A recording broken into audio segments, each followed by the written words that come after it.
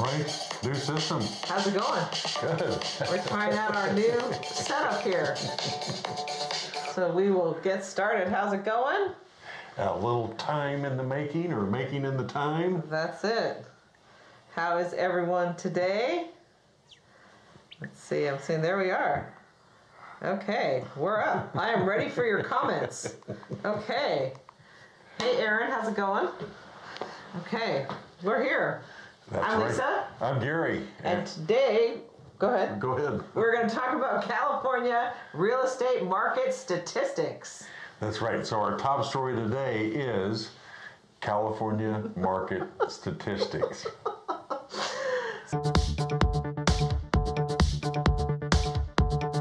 So we are here to let you know that the market is still very, very robust. It's a good word, huh? It is. What was the other word you liked? Stellar. Stellar, robust. No, it was it was something different. So California, um, the median price has dipped below eight hundred thousand for the first time in seven months to seven hundred and ninety-eight thousand four hundred. So barely, but it has been over eight hundred for um, most of this year, which is that's got to be record highs. Well, now, can that statistic be a little misleading because it's down, but actually the market's up? Right. Well, you know, I think they can cut and chop the numbers however they want, but I'm just reporting the news here. That's right. So the median home price is, I think that means, let's say entry level. I was going to say first time buyer, but let's go to entry level properties have been selling spectacularly hot, just like the luxury market. But this time the luxury market has led us to where we are today. Yes, the entry home market price has gone up and up and up. Yes, and that's across the state. These are statewide numbers. Yes. These are just not local numbers. We know the local numbers too. State of California, just in case you're wondering where uh, where we are. So unsold inventory is 1.8 months down. It's 10. It's down 10 percent. It's the lowest level in the last four months. So if a if if a what do we call it a normal? I don't know what normal is, but they say it's six months worth of inventory would be a normal market. Not that we've ever seen that, but now just to give you some reference, it's 1.8. That's right. So normal is non-existent anymore. Normal, I think they've erased it out of the dictionary. certainly in California. So it's a great time to list to take advantage of less compet- competition because like inventory is still so low. Um, buyers are still out there in the market. So it's a good time because no telling what's going to happen in the new year. Um, there may be more properties coming on the market, which would mean more competition for you if you're a seller. Um, but of course, we'd have some very happy buyers if we had some more inventory, certainly in the entry price ranges. That's right. So sellers are once again in the driver's seat. So if there's a reason to sell, or the statistic I saw was that people have sold their home, and 30% of the people that have sold their home can't find a replacement home. But they had to sell their home to buy a new home because contingent offers are very difficult in this market. Not non existent, just very tough to get an offer like that accepted. That's right. So sales continue to outpace new listings. Um, in October, there were 24,000 sales in the state of Califor- California, but only 10,000 new active listings. So you can see where the where the bump is here between the inventory. What's ha- what's happening? That means there are more buyers than there are sellers. That's right. Yes, basically supply and demand 101, and that's been going on since about, let's say, May of 2020. We went locked down in March. By May, people were like, I can't stand to be where I'm locked down. Let's do something. Let's do anything.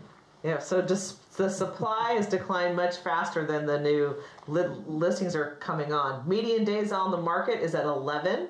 So you think things are selling very quickly. Existing home sales are up 13.4%, but those numbers are going to be hard to keep them that high without inventory coming on. Um, price per square foot, a single family home is at $389 median price per square foot. And of course, condos is higher at $505 a foot. Smaller property, always higher price per square foot. Yeah, we've seen some of the smaller properties along the beach at fifteen hundred dollars a square foot. So, Yes, now that's not a large mansion, but you know, you get the smaller property very close to the beach, you're looking at fifteen hundred a foot. Yeah, it's just crazy. Um, 60.2% of homes sold over the asking price. Uh, statewide, that number is 85% all around the, count, the counties in the Bay Area. Um, the I saw the median price in Atherton is $8.8 million, just FYI. yeah, did they have any pictures? I don't know. Because at at the at the high end, I'm sure there always are a few. Um, median mortgage rate is 3%. Of course, we're still around the 3% range. And the median household income right now to afford a home is about $150,000. Um, mortgage rates in the past year have been the lowest in the history of real estate. And just to give you a little refresher, especially for our younger viewers, in the 70s, the median interest rate was 8.86%, the 80s, 12.7%, the 90s, 8.12%, 2000, 6.29%, and then in 2010 it was 4.09 percent, and now we're at three.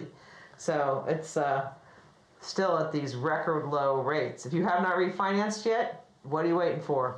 Well, the price has gone up slightly. Now we were in the very high twos, and now we're in the very low threes and refinances has slowed down, but there's a lot of people I saw where the average interest on an mortgage was 6%. So there's a lot of people out there that haven't refinanced. Mm-hmm. 6% was in the 2000s, so they haven't refinanced since then. Um, the retirement rates, I saw an interesting chart that showed the retirement rates. You know, it was kind of like those, uh, the election graphs. It kind of went like this and then boom, straight up. So the the retirement rates, people are retiring much faster than that what has been the traditional curve. Yeah, now that's an interesting analogy. Well, it's just what I thought of because I'm visual. So it was the same kind of visual since we've seen that one about a billion times in the last year. Um, the will home prices go down in 2022? How's your crystal ball? Well, I would think that anything can happen. Uh, we never know what the event's going to be. Usually it's a bunch of small things, but could be anything.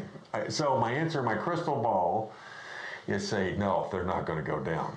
Well, over 100 industry experts, including you, 101, don't think so. The prices are not going to come down. They're projecting a more modest appreciation on home price gains, modest to almost 6%.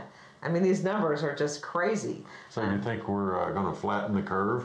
Yeah, I don't think so. it doesn't sound like that graph is still go, uh, going up.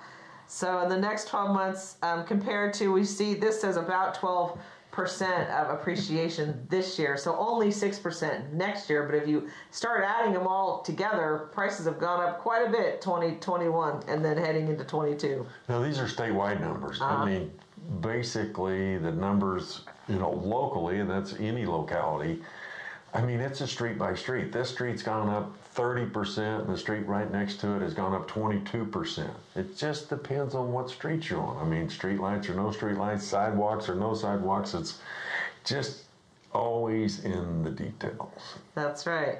So, waiting to list your house um, could be dangerous because you might have more competition as more inventory comes on, and this is always a great time to list at the end of the year. There's tends to be traditionally less uh, inventory in the market. So it could be a great time to jump ahead of your competition and get your house on while we still have a lot more buyers in the market than we do have homes for sale.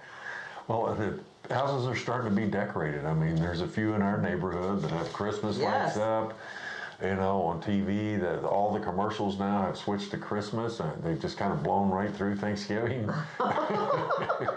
yeah. I mean, you know, Lisa even talked about putting our tree up. But, I know, uh, but we always get a real tree, so I have to wait till they have real trees to, to get one. yeah, the real tree that's going to last in the tree stand for two months. Yeah, usually not. But it does smell good for at least the first week or two. um, so, according to Ivy Zelman, who is a well respected economist, she says the likelihood of us having a foreclosure crisis again is 0%. So, people that think there's going to be this big crash of foreclosures, it's just not going to happen. Well, it's very difficult to get a foreclosure if you've gone up 20% last year. These are local numbers for us, 20% this year. You know, if you've gone up 40% in the last 24 months, very difficult to not have equity in your property. If they foreclose in California on a house and you have equity and they sell it, uh, they own the, the person they foreclosed on the equity. So Right. it's not like it's a, hey, they foreclosed and the bank gets to keep the equity. Does not happen in California. Right. And it's very unlikely because in California, there's only 2.3% of the mortgages are in uh, having any issues anyway. So it's a very small amount, and most of those pe- people probably have equity. So I wouldn't see those coming on the market for foreclosure. No, I don't either. I, the equity kind of is a game changer. And another little um, statistic that I thought was interesting is many home buyers are about to enter the prime years for, for coming into the market as first time home buyers. Uh, what do you think the average age is for when people move out?